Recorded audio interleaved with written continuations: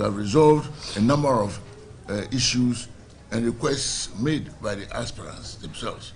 We are generally agreed that there will be nothing like camping of persons so that people will come freely and vote freely uh, on this occasion.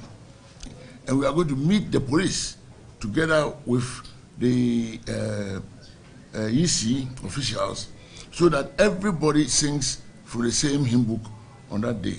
Uh, no officials, regional uh, party people, etc., can have any influence on that day. You go to your own constituency and vote, and then you are done.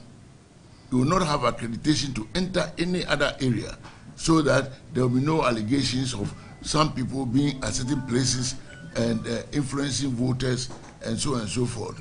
So that at the end of the day, it's clear and clean. We know there had been a lot of problems about proxies. People sometimes come and no one really can tell until the last minute. There is going to be resolved within a whole month before the election.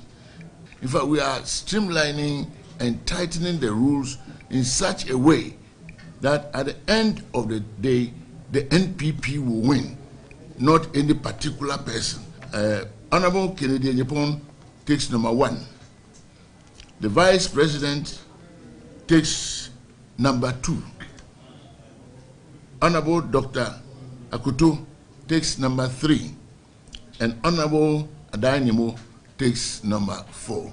That is the final placement by way of the ballots. And this is how it's going to be